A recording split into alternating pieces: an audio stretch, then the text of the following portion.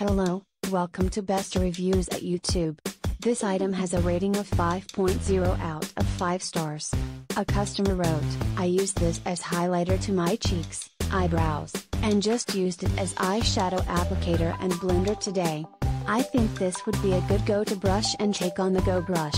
I think this would be a good go to brush and take on the go. Thank you for watching. Please give the thumbs up.